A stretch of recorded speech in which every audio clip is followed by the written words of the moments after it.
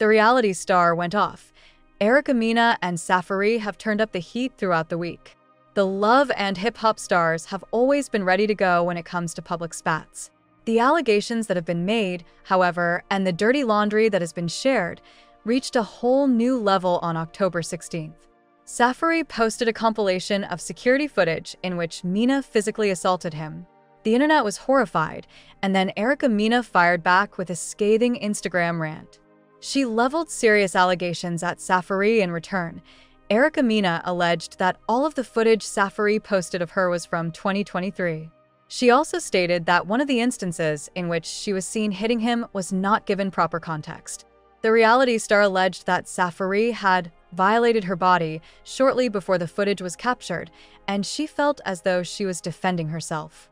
The one of me being enraged sick was because he violated my body.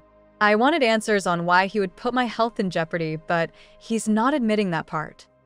Erica Mena had a ton more to say on the matter. She alleged that Safaree dropped the restraining order he got against her because he wanted to get back together. The Love and Hip Hop star wrote that Safaree got on his knees and begged to get back together. She alleged that their kids bore witness to this. It's worth noting that some of the footage Safaree provided saw Mena strike him with their kids present. Erica Mena provided specific dates in which Safaree came and allegedly asked to get back together. She also accused the producer of gaslighting her and making her feel as though she's the issue. Interestingly enough, Mena brought the rant back to the topic that started the conflict in the first place child support. Safaree requested that his child support payments be lowered due to his diminished income. Erica Mena took the producer to task for this request.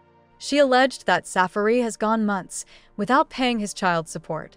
The reality star also alleged that she had to get the Department of Child Support to literally take the money from Safaree's account. Erica Mena concluded her multi-part rant by attacking Safaree's parenting. She castigated him for being an absentee father. She also criticized him for leaking footage that will cause trauma to both her and their children.